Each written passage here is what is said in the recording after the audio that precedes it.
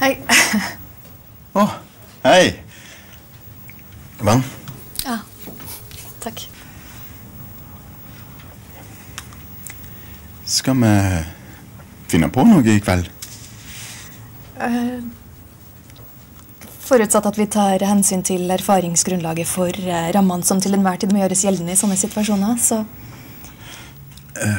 Jeg må få vise til virksomhetens reglement når det gjelder avvik fra sedvane.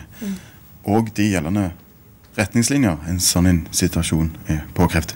det fremgår at, eh, at deres anmodning faller inn under gjeldende reglement ifølge lov om eh, statens tjenestemenn og paragraf 4 angrerettsloven.